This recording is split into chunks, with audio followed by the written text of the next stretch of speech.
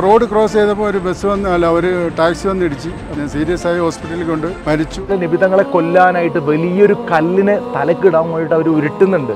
എന്നാൽ ജിബിലിന്റെ സഹായത്തിൽ ആ കല്ല് താഴെ വന്ന്.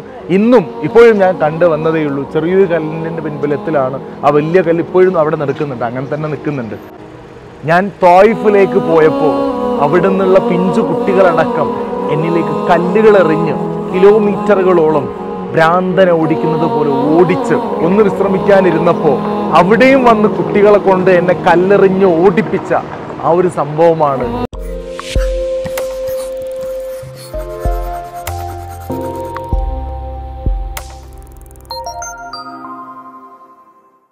അസ്സാം വലൈക്കും വറഹമത്തുള്ള അലഹമില്ല അലഹമില്ല ആമീൻ ആമീൻ. ഞാനിപ്പോൾ ഉള്ളത് നബിസല്ലാഹു അലൈഹി സ്വലമ തങ്ങളുടെ ത്യാഗ ത്യാഗനിർഭലമായ ചരിത്രങ്ങൾക്ക് സാക്ഷ്യം വഹിച്ച തോയിഫിന്റെ മണ്ണിലാണ്. അപ്പോൾ ഇവിടുത്തെ ചരിത്രമടക്കം അലഹമില്ല നമുക്ക് ഈ വീഡിയോയിലൂടെ കാണാം. ഇതുപോലുള്ള ചരിത്രങ്ങൾ ഇനി നിങ്ങൾ കാണാൻ താല്പര്യമുണ്ടെന്നുണ്ടെങ്കിൽ ഇൻഷാ അല്ല നിങ്ങൾക്ക് ചാനൽ സബ്സ്ക്രൈബ് ചെയ്ത് നമ്മുടെ മുന്നോട്ടുള്ള യാത്രയിൽ നിങ്ങൾക്കും ഓരോ സംഭവങ്ങൾ ആസ്വദിക്കാം ചരിത്രങ്ങൾ പഠിക്കാം. അള്ളാഹു തോഫിക്ക് നൽകട്ടെ. അപ്പോൾ ഇൻഷാ അല്ല ഞാൻ ഇവിടെ സിയാർത്ത് ചെയ്ത് വരാം. അപ്പോഴേക്ക് വന്ന വഴിയിലുള്ള കാര്യങ്ങൾ നിങ്ങൾ കണ്ടിട്ട് വന്നോളി. അസ്സാം വലൈക്കും നമ്മളങ്ങനെ രാവിലെ തന്നെ മക്ക ഹറമിന്റെ അടുത്തുള്ള റൂമിൽ നിന്ന് ഇറങ്ങി തോയിഫിലേക്കുള്ള യാത്ര പോവാണ്. എന്റെ ഉമ്മയപ്പുള്ള അവരുടെ ആ ഒരു ട്രാവൽസിന്റെ പാക്കേജിൽ കൂടിയാണ് ഞാൻ പോകുന്നത് ഇപ്പോൾ. പോകുന്ന വഴിയിൽ ആദ്യം കണ്ടത് നമ്മുടെ ജബൽനൂർ പർവതമാണ് അപ്പോൾ ഇവിടെയായിരുന്നു പരിശുദ്ധ ഖുർആാന്റെ ഇക്കർ എന്ന അധ്യായം തുടങ്ങുന്നത്. ഇവിടെ ഈ ജബലന്നൂരിലുള്ള ഇറാ ഗുഹയിലാണ്. അപ്പോൾ ഇൻഷാല്ല ഒരു ദിവസം നമ്മൾ അവിടെ കയറുന്നുണ്ട് നമ്മളങ്ങനെ ഇങ്ങനെ മുന്നോട്ട് പോകുമ്പോൾ പിന്നെ നമുക്ക് കണ്ടത് നമ്മുടെ ഹുനൈൻ യുദ്ധം നടന്ന ആ ഒരു സ്ഥലം. ഈ സ്ഥലത്താണ് അവിടെ കോട്ടകളെ പോലെയൊക്കെ ലാസ്റ്റം കാണുന്നുണ്ട്. അപ്പോൾ അവിടെയൊക്കെ ആയിരുന്നു ഹുനൈൻ യുദ്ധം നടക്കുന്നത്. ഇസ്ലാമിൽ ഏറ്റവും കൂടുതൽ ഹനീമത്ത് സ്വത്ത് ശത്രുപക്ഷത്തു നിന്ന് കിട്ടി വൻ വിജയമായ ആ ഒരു യുദ്ധം നടക്കുന്ന സ്ഥലമാണ് നിങ്ങളിപ്പോൾ കാണുന്നത്. ഹീതാറാ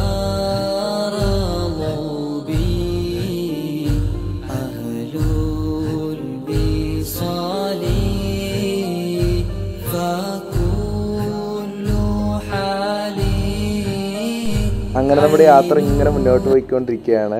അപ്പോൾ ഇടത് ഭാഗത്ത് ഇപ്പോൾ കാണുന്ന ആ ഒരു ഗ്രില്ലിട്ടത് കാണുന്നുണ്ടല്ലോ. ഒരു കോമ്പൗണ്ടൊക്കെ ആയിട്ട്. ഇതാണ് നമ്മുടെ ശുഹതാക്കളുടെ മക്കാമ് ഈ കാണുന്നതാണ് തോയിഫിലെ ശുഹതാക്കളുടെ മക്കാം കേട്ടോ.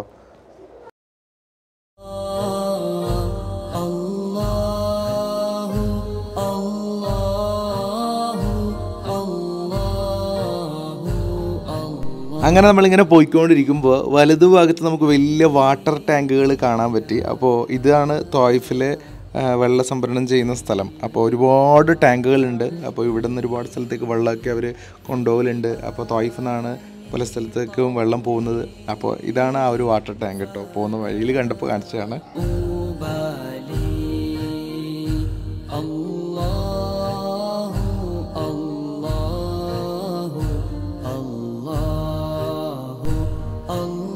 അങ്ങനെ നമുക്ക് പോകുന്ന വഴിയിൽ ഡാം നമുക്ക് കാണാനിടയായി. ഒരു ഡാമുണ്ട് അപ്പോൾ ഡാമിന്റെ അടുത്ത് തന്നെ മക്ബറ ഉണ്ട് പ്രധാനപ്പെട്ട മക്ബറകളുണ്ട്. അങ്ങനെ നമ്മളവിടെ നിർത്തി അവിടെ സിയാർത്ത് ചെയ്യാൻ വേണ്ടിയിട്ട്. ഡാമിൽ വെള്ളമൊന്നുമില്ല.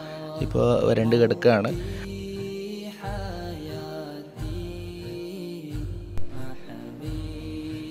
അങ്ങനെ നമ്മൾ മക്ബറകൾക്കരികെ ചാരത്ത് സിയാർത്ത് ചെയ്തു. അതിനുശേഷം പോകുമ്പോൾ നമുക്ക് കണ്ട കാഴ്ച ഈ ഒരു കല്ല് നിങ്ങൾക്ക് കാണുന്നുണ്ടാവും. അതായത് നബ്സല്ലാ അലുസ്ലമ തങ്ങളെ വധിക്കാനായി ശത്രുക്കൾ ഉരുട്ടിയ കല്ലാണ്. ഓക്കെ?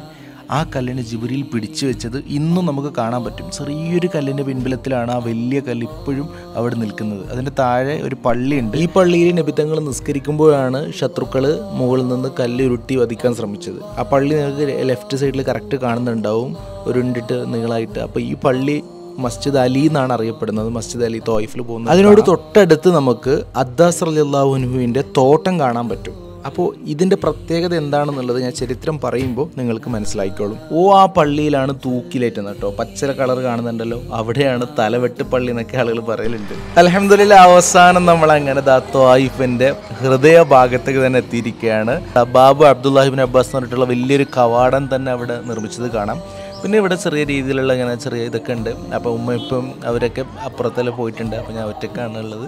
അപ്പോൾ ഞാനിങ്ങനെ ഇവിടെ സ്ഥലങ്ങളൊക്കെ കാണാമെന്ന് വിചാരിച്ചു. അപ്പോൾ ഈ ഒരു പള്ളി നോക്കിയേ മഷാല്ല മക്തബ അബ്ദുല്ലാഹിബിൻ അബ്ബാസ് മക്തബയാണ്. അപ്പോൾ ലൈബ്രറിയാണ് പള്ളിയല്ല. പള്ളി കുറച്ച് അപ്പുറത്ത് നമുക്ക് കാണാൻ പറ്റും കേട്ടോ മഷാല്ല അപ്പോൾ എന്തായാലും ഇതാണ് തോയിഫിന്റെ ഒരു ഓവറോൾ വ്യൂ അപ്പോൾ ഇതാണ് അബ്ദുല്ലാഹിബിൻ അബ്ബാസ് റളിയല്ലാഹു അൻഹുവിന്റെ പള്ളി. തൊട്ടടുത്ത് തന്നെയാണ് അബ്ദുല്ലാഹിബിൻ അബ്ബാസ് അലി അൻഹുവിന്റെ മക്ബറയും സ്ഥിതി ചെയ്യുന്നത്. അബ്ദുല്ലാഹിബിൻ അബ്ബാസ് എന്ന് പറഞ്ഞാൽ നബ്സല്ലാ അലൈഹി സ്വലാമ തങ്ങളുടെ എളാപ്പയാണ്. അതുപോലെ തഫ്സീറിൽ ഏറ്റവും വലിയ മുഫസ്സിറാണ് ഏറ്റവും വലിയ ഒരു ഖുറാന്റെ വ്യാഖ്യാതാവാണ്. ചരിത്രത്തിൽ ഒരുപാട് ഹദീസുകൾ റിപ്പോർട്ട് ചെയ്ത വലിയ മഹൽ വ്യക്തിത്വമാണ്. അദ്ദേഹത്തിന്റെ മക്ബറയും പള്ളിയുമാണ് ഇവിടെ അടുത്തുള്ളത്. അള്ളാഹു താല അദ്ദേഹത്തിന്റെ അക്കജാവ് പറക്കത്ത് കൊണ്ട് നമ്മുടെ എല്ലാവരുടെ ഹലാലായ ഉദ്ദേശങ്ങൾ ഹാസിലാക്കുമാറാവട്ടെ. ഞാനിപ്പോൾ അങ്ങനെ തോയിഫിലെ അങ്ങാടികളിലൂടെ ഇങ്ങനെ നടന്നു പോവാണ്. അപ്പോൾ നമുക്ക് ഇവിടുത്തെ ചരിത്രത്തിലേക്ക് വരാം. ബിസ്മില്ലാഹി اشرح لي സ്വദരി ويسر ലി അംരി വഹലുൽ ഉഖ്ദത من ലിസാനി ഇഫ്തഹു ഖൗലി.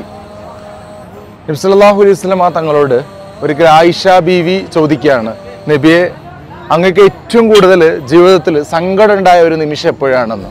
ഏറ്റവും കൂടുതൽ സങ്കടം ഉണ്ടായത് എപ്പോഴാണെന്ന്? അപ്പോൾ ആയിഷ ബീവി നബിയോട് ചോദിക്കുകയാണ് അല്ലയോ ഉഹുദ് യുദ്ധവേളയിലാണോ നിങ്ങൾക്ക് ഏറ്റവും കൂടുതൽ സങ്കടം ഉണ്ടായത്? കാരണം ഉഹുദ് യുദ്ധ സമയത്താണല്ലോ. മിസാബുബിനും ഉമേർ അല്ലാഹുവിനും മരിക്കുന്നതും നബിയുടെ കരളിന്റെ കഷ്ണമായ ഹംസർ അല്ലാഹുവിനും മരിക്കുന്നതും ഹംസർ അല്ലാഹുവിനുവിന്റെ കരളിനെ ഹിന്ദെടുത്തിട്ട് ചവിച്ച് ഞരച്ച് തുപ്പുന്ന വേളയൊക്കെ ഉണ്ടായാലോ നബി തങ്ങൾക്ക് ഏറ്റവും കൂടുതൽ സങ്കടം ഉണ്ടായതാണല്ലോ. അതുകൊണ്ടാണല്ലോ ഹംസർ അല്ലാഹുവിനെ അമ്പ ചെയ്തിട്ട് കൊന്ന ആ വഹിഷി എന്ന് അറിയുന്ന ആൾ ഇസ്ലാം മതം സ്വീകരിച്ചിട്ടും നബി തങ്ങൾ പറഞ്ഞത് എന്റെ മുമ്പിൽ കണ്ണു പോകരുത് കണ്ടു പോകരുത് കാരണം നീ വരുമ്പോഴൊക്കെ ഹംസ അള്ളാഹുവിന്റെ മനസ്സിൽ ഓർമ്മ വരും. അതുകൊണ്ട് എന്റെ മുമ്പിൽ വന്നു പോകരുത് എന്ന് എപ്പോഴും നിബിധങ്ങൾ പറയുമായിരുന്നു. അത്രയും നിബിധങ്ങൾക്ക് സങ്കടം ഉണ്ടായ ഒരു സംഭവമാണ് ബഹുദ് യുദ്ധവേളയിൽ അതുപോലെ ആദ്യം പരാജയപ്പെട്ട പോലെ തോന്നി. ആ സമയത്തൊക്കെ ഒരുപാട് ബുദ്ധിമുട്ട് പിന്നീടാണ് വിജയിച്ചതെങ്കിലും. അപ്പോൾ അങ്ങനെയൊക്കെ മൊത്തത്തിൽ നോക്കുമ്പോൾ ബഹുദ് യുദ്ധവേളയിലായിരിക്കുമല്ലോ നബി നമ്മളുടെ മുമ്പൽ പൊട്ടി അങ്ങനെ ഒരുപാട് റീസൺസ് ഉണ്ട്. അതുകൊണ്ട് അതായി അതല്ലേ എന്ന് ചോദിക്കുകയാണ്. അപ്പോൾ നിബിധങ്ങൾ പറയാണ് എനിക്ക് ഏറ്റവും കൂടുതൽ ഒരു സങ്കടം ഉണ്ടായ എന്റെ ജീവിതത്തിലെ നിമിഷം അതൊന്നുമല്ല. മറിച്ച് തോയിഫിന്റെ മണ്ണിലേക്ക് ഞാൻ പോയപ്പോൾ അതായത് ഞാൻ ഇപ്പോഴുള്ള ഈ തോയിഫിന്റെ മണ്ണിലേക്ക് ഞാൻ വന്നപ്പോൾ അവിടുന്ന് ചെറിയ പിഞ്ചു കുട്ടികളടക്കം കല്ലെറിഞ്ഞുകൊണ്ട് ഒരു ഭ്രാന്തനെ ആട്ടി ഓടിക്കുന്നത് പോലെ കല്ലെറിഞ്ഞുകൊണ്ട് കിലോമീറ്ററുകളോളം എന്നെ ഓടിച്ച ഒരു സംഭവമുണ്ട്. എന്റെ ജീവിതത്തിൽ ഒരിക്കലും മറക്കാൻ കഴിയില്ല. ഏറ്റവും കൂടുതൽ എന്റെ ജീവിതത്തിൽ സങ്കടം ഉണ്ടായ ഒരു നിമിഷം അതായിരുന്നു. കാരണം നിബിതങ്ങൾ ഒന്നുമില്ലാതെ നിമിഷങ്ങൾ നബിതങ്ങളുടെ അമ്പതാം വയസ്സിൽ നബിതങ്ങളുടെ ഉപരോധം നമുക്കറിയാം അതിനു മുമ്പ് നബി സല്ലല്ലാഹു അലൈഹി വസല്ലമ തങ്ങളെ മക്ക മുശ്രിക്കീങ്ങൾ ഒരുപാട് പീഡനങ്ങൾക്കിരയാക്കി ഒരുപാട് മർദ്ദനങ്ങൾ നബിതങ്ങൾ കേൾക്കേണ്ടി വന്നിട്ടുണ്ട്. അവസാനം ഉപരോധം നബിതങ്ങളെ ബാക്കൗട്ട് ചെയ്തു. നബിതങ്ങളെ ഉപരോധിച്ചു. ആരും നബിതങ്ങളോട് മിണ്ടരുത് കുടിക്കരുത് ഒന്നും കൊടുക്കരുത് ഒരു ബന്ധവും പാടില്ല. അങ്ങനെ നബിതങ്ങൾ ഷഹബ് അബി താലിബിൽ ഷഹബ് ബനി ഹാഷിം എന്നൊക്കെ പറയുന്നുണ്ട്. ആ അവിടെ ആ മലയിലായിരുന്നു നബിതങ്ങൾ മൂന്ന് വർഷക്കാലം പച്ചിലയും ഇലയും കഴിച്ചിട്ട് നിന്നത്. ആ ചരിത്രമൊക്കെ നിങ്ങൾക്ക് അറിയാവുന്നതുകൊണ്ട് അതിലേക്ക് ഞാൻ കൂടുതൽ പോകുന്നില്ല. ഏതൊരെന്ന് പറഞ്ഞാൽ ഒരിക്കലും നബി തങ്ങളുടെ ആ ഒരു എപ്പോഴും പച്ചില കഴിച്ച് കഴിച്ച് കഴിച്ച് ഒരു ടേസ്റ്റിനൊരു മാറ്റം വരാൻ വേണ്ടിയിട്ട് ഒരു റബ്ബറിന്റെ ഒരു സാധനം എടുത്തിട്ട് അതിനെ ചൂടാക്കിയിട്ട് വെള്ളത്തിലിട്ട് അതിനെ കഴിച്ചു എന്നാണ്. ഒരു ടേസ്റ്റ് മാറ്റം വരാൻ വേണ്ടിയിട്ട്. കാരണം നാവിന്റെ ആ ഒരു ടേസ്റ്റിന്റെ ആ ഒരു ഇത് തന്നെ പോയിട്ടുണ്ടായിരുന്നു. അപ്പോൾ എന്തായാലും ഞാൻ ചരിത്രത്തിലേക്ക് വരാം. അപ്പോൾ അതിലേക്ക് ഞാൻ കൂടുതൽ കിടക്കുന്നില്ല. അമ്പതാം വയസ്സിൽ അത് കഴിഞ്ഞതിന് ശേഷം അത് ഖദീജ ബി അള്ളാഹുനു വഫാത്താകുന്നുണ്ട് ഇപ്പം തങ്ങൾക്ക് ഏറ്റവും ഇഷ്ടപ്പെട്ട നബി തങ്ങൾക്ക് ഏറ്റവും കൂടുതൽ സംരക്ഷണമായിട്ട് കൂടെ നിന്ന സംബിലൂനി ഖദീജ എന്ന് പറഞ്ഞിട്ട് നബി തങ്ങളെ കെട്ടിപ്പിടിച്ച ആ ഒരു ഖദീജ ബീവിയുടെ മരണം നബി തങ്ങളെ വല്ലാണ്ട് അലട്ടിയിരുന്നു. അതുപോലെ തന്നെ അതേ വർഷം രണ്ട് മൂന്ന് ദിവസങ്ങൾ കഴിഞ്ഞു എന്നൊക്കെ പറയപ്പെടുന്നുണ്ട്. അബി തോലിബ് നബിത്തങ്ങളുടെ എളാപ്പ നബിത്തങ്ങളുടെ ശത്രുക്കളിൽ നിന്ന് ഏറ്റവും കൂടുതൽ സംരക്ഷിച്ച വ്യക്തിയാണ് ഇവർ രണ്ടുപേരും. അവരുടെ രണ്ടുപേരുടെ മരണം. ഈ സമയത്ത് നബിത്തങ്ങൾക്ക് മക്കത്ത് നിൽക്കാൻ കഴിയാത്ത അവസ്ഥ വന്നു. കാരണം മക്കയിലെ ആളുകൾക്കൊക്കെ മനസ്സിലായി. അബി താലിബ് ഇസ്ലാം മതം സ്വീകരിച്ചിട്ടില്ലല്ലോ. അപ്പോൾ അതുകൊണ്ട് തന്നെ നിബിത്തങ്ങൾക്ക് എല്ലാവിധ സഹകരണങ്ങൾ കൊടുക്കുമ്പോഴും കുറേശികൾ അദ്ദേഹത്തിന്റെ കൂടെ ആയിരുന്നതാണല്ലോ. അപ്പോൾ അദ്ദേഹത്തിന്റെ മരണത്തോടു കൂടി നിബിത്തങ്ങളുടെ ശത്രുത കൂടി കൂടി വന്നു. ഹംസർ അള്ളാഹുൻ ഇസ്ലാമിലേക്ക് വന്നു. മൊത്തത്തിൽ അങ്ങനെയുള്ള ഒരു അന്തരീക്ഷം ആയതുകൊണ്ട് തന്നെ ശത്രുക്കൾക്ക് നിബിത്തങ്ങളോടുള്ള വിദ്വേഷവും പകയും കൂടി വന്നപ്പോൾ നിബിത്തങ്ങൾക്ക് മക്കയിൽ നിൽക്കാൻ കഴിയാത്ത അവസ്ഥ വന്നു. അങ്ങനെ ഒരു അമ്പതാം വയസ്സിൽ നിബിത്തങ്ങൾ തോയിഫിലേക്ക് നിബിത്തങ്ങളുടെ മാതാവിന്റെ നാടാണെന്നൊക്കെ പറയപ്പെടുന്നുണ്ട്. അപ്പോൾ തോയിഫിലേക്ക് അഭയത്തിനായിട്ട് അല്ലെങ്കിൽ തോയിഫിലുള്ള ആളുകളെ ദീന ദൈവത്തിലേക്ക് ക്ഷണിക്കാനായിട്ട് നബിതങ്ങൾക്ക് ഇവിടെയെങ്കിലും ഒരു സമാധാനം കിട്ടുമെന്ന് വിചാരിച്ചിട്ട് നബിതങ്ങൾ മക്കയിൽ നിന്ന് നേരെ തോയിഫിലേക്ക് വന്നു. അങ്ങനെ തോയിഫിൽ വന്ന ആ സമയം വളരെയധികം പീഡനങ്ങൾക്കും മർദ്ദനങ്ങൾക്കും ഇരയായ നബിതങ്ങൾ ഇവിടെ വന്ന് ഇവിടെ എത്തിയപ്പോഴേക്കും നബിതങ്ങളെ വളരെയധികം കണ്ണീരിലാഴ്ത്തുന്ന അല്ലെങ്കിൽ വേദനാജനകമായ സങ്കടപ്പെടുത്തുന്ന അനുഭവങ്ങളായിരുന്നു നബിതങ്ങൾക്ക് ഇവിടെ നിന്നുണ്ടായത്. ഇവിടേക്ക് വന്ന സമയം തന്നെ ഇവിടെയുള്ള ശത്രുക്കൾ നിബിതങ്ങളെ ചെറിയ കുട്ടികളെ കൊണ്ടുപോലും കല്ലെറിഞ്ഞ് ആട്ടി ഓടിച്ച് കിലോമീറ്ററുകളോളം. നിങ്ങളൊന്ന് ആലോചിച്ച് നോക്കുക. ഒരു ആ ഒരു സംഭവം ഒന്ന് നിങ്ങളൊന്ന് ചിന്തിച്ചെടുത്ത്. കല്ലെറിഞ്ഞിട്ട് ഓടിക്കുകയാണ്. വെറും ഒരു കിലോമീറ്റർ അല്ല കിലോമീറ്ററുകളോളം നബി തങ്ങളെ കല്ലെറിഞ്ഞിട്ട് ഓടിക്കുകയാണ്. നബി തങ്ങൾ ഒരു ഭ്രാന്തനെ ഓടിക്കുന്നത് പോലെയാണ് അവർ ഓടിപ്പിച്ചത്. നബി തങ്ങൾ അങ്ങനെ സഹിക്കാൻ കഴിയാതെ അവസാനം വേദനയുടെ കാഠിന്യം കൂടി വന്ന് അവസാനം നബി തങ്ങൾ ഒരിടത്ത് ഇരിക്കുന്നുണ്ട്. ഇരുന്ന് ഇരുന്നിട്ട് നബി തങ്ങളൊന്ന് വിശ്രമിക്കാൻ നോക്കുമ്പോൾ വീണ്ടും ആളുകൾ കല്ലെറിയാണ്. നിവിധങ്ങൾ ഇരുന്നെടുത്ത് എണ്ണീറ്റ് പിന്നെയും നിവിധങ്ങൾ കൂഴേണ്ടി വന്നു. അങ്ങനത്തെ അവസ്ഥ. അവസാന നിവിധങ്ങൾ ഒരു തോട്ടത്തിൽ വന്നിരുന്നപ്പോൾ അവിടെ ഒരു സ്വഹാബി അദ്ദാസ് എന്ന് പറയുന്ന സ്വഹാബി അദ്ദേഹമാണ് പിന്നീട് നിവിധങ്ങൾക്ക് മുന്തിര കൊടുക്കുന്നത്. മുന്തിരി.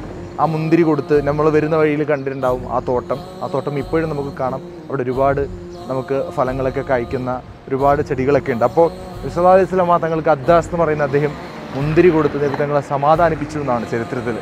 അപ്പോൾ അത് കഴിഞ്ഞ് നബിതങ്ങൾ വന്നപ്പോൾ അതുപോലെ ശത്രുക്കൾ നബിതങ്ങളെ കൊല്ലാൻ വേണ്ടിയിട്ട് വലിയ മലകൾക്ക് മുകളിൽ നിന്ന് കല്ല് പാറക്കല്ല് താഴേക്ക് ഉരുട്ടിയിടുന്നുണ്ട്. അങ്ങനെ ഉരുട്ടി വീഴുമ്പോഴാണ് ജിബ്രീൽ അലി ഇസ്ലാം അവിടെ തന്നെ പിടിച്ചു നിർത്തി. ചെറിയൊരു കല്ലിന്റെ ബലത്തിലാണ് ഇപ്പോഴും ആ വലിയ കല്ല് അവിടെ നിൽക്കുന്നത്. നമ്മൾ വരുന്ന വഴിയിൽ നിങ്ങളത് വീഡിയോയിൽ കണ്ടിട്ടുണ്ടാവും. അപ്പോൾ ഞാൻ പറഞ്ഞു വന്നത് നബിതങ്ങൾ ഇത്രയും ക്രൂരമായി മർദ്ദിച്ച ഈ സംഭവം കണ്ടിട്ട് മലക്കുകൾ പോലും കരഞ്ഞു എന്നാണ് ചരിത്രം പറയുന്നത്. അങ്ങനെ മലക്കുകൾക്ക് പോലും സഹിക്കാൻ കഴിഞ്ഞില്ല. അങ്ങനെ ജിബിലി അലി ഇസ്ലാമിന്റെ നേതൃത്വത്തിൽ പർവതങ്ങളെ കാക്കുന്ന മലക്ക് പർവതം എന്ന് പറയുമ്പോൾ ഇവിടെ ഏറ്റവും കൂടുതൽ പർവതമാണ് മക്കയുടെ ഭാഗത്ത് വന്നവർക്കറിയാം നെഫക്കാണ്. ഇവിടെ ഫുള്ള് നെഫക്കാണ്. നെഫക്ക് എന്ന് പറഞ്ഞാൽ പർവ ഇത് തുരങ്കങ്ങളാണ്. കാരണം മലയെ മുറിച്ചിട്ടാണ് റോഡുകളൊക്കെ ഉണ്ടാക്കിയിട്ടുള്ളത് ഇവിടെ കൂടുതലും.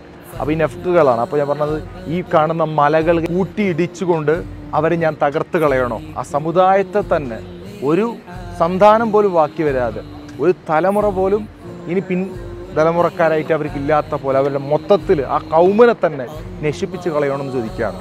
അപ്പോൾ നബി സല്ലല്ലാഹു അലൈഹി തങ്ങൾ പറയുന്നത് ഓജുബിരിയിൽ ഒരിക്കലും താങ്കൾ അങ്ങനെ ചെയ്യരുത്. കാരണം അവർ എന്നോട് അങ്ങനെ ചെയ്താലും റഹ്മത്തുള്ളിൽ ആലിമീനായ കരണക്കടലായ നബിത്തങ്ങൾ പറയാണ് എനിക്കതിന് ഇഷ്ടമല്ല.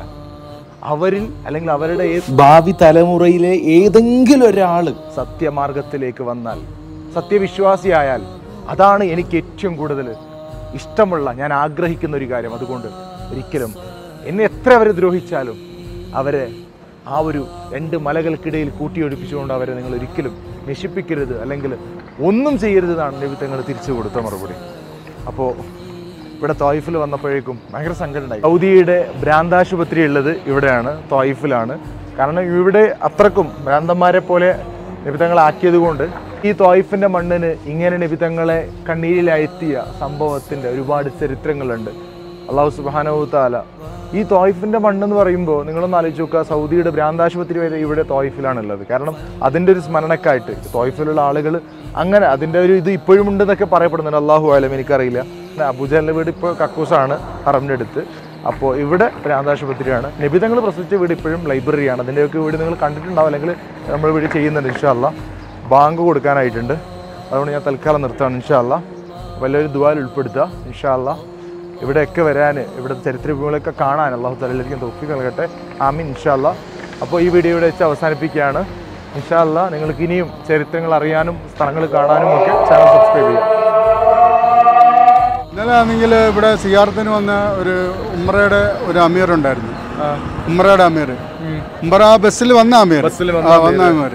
അപ്പോൾ അങ്ങനെ ചരിത്ര പള്ളി കാട്ടാൻ നേരത്തെ പള്ളിയിലോട്ട് അവിടെ കാണിക്കാൻ പോയ സമയത്ത് റോഡ് ക്രോസ് ചെയ്തപ്പോൾ ഒരു ബസ് വന്ന് അല്ല ഒരു ടാക്സി വന്ന് ഇടിച്ച് അപ്പോഴേ ആളങ്ങനെ പിന്നെ സീരിയസ് ആയി ഹോസ്പിറ്റലിൽ കൊണ്ട് മരിച്ചു. അങ്ങനെ കുറച്ച് കഴിഞ്ഞ് കുറച്ച് കഴിഞ്ഞ് ആൾ മരിച്ചു. അങ്ങനെ ഇന്നിപ്പോ ഇവിടെ കവറടക്കാണ് ഇവിടെ അങ്ങനെ സ്ഥലം കാണിക്കാൻ വന്നാണ് വന്നതാണ്. കള്ളാണ്ട ഒരു കള്ളാണ് പിന്നെ ഈ ഇവിടെ അതെ അതെ അതെ. അത് ഭാഗ്യമല്ല ഒരാണെങ്കിലും ഉമ്ര ഗ്രൂപ്പ് നടത്തുന്ന ആൾക്കാരാണ് ആൾക്കാര്. അതെ അതെ അതെ. എന്നാലും ആക്സിഡന്റ് ആയിട്ട് മരിക്കാന്ന് പറയുമ്പോ ഇവിടെ വന്നിട്ടല്ലേ? അതെ അതൊരു വല്ലാത്തൊരു.